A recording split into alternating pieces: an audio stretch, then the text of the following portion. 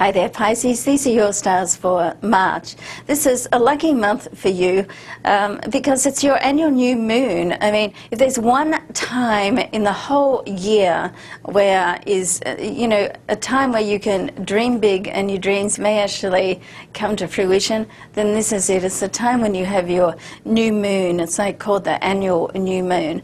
So nothing is out of the realms of possibility. This is like the start of the whole new phase for you. Um, and it's incredibly positive, particularly as, you know, most Pisces that I know have been really putting a lot of hard work in over the last couple of years. So this is a time when you can start to see that it's all going to come through.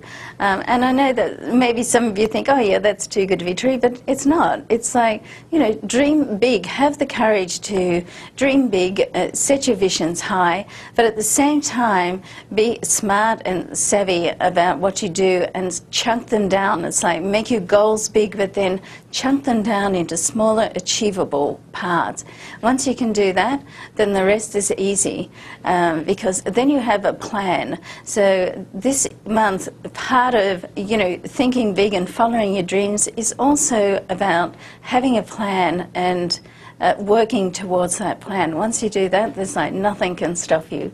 On a love and romance level, um, love is very possible at the moment. Venus has an influence on you, which Venus, of course, is the love goddess of the planets of the zodiac.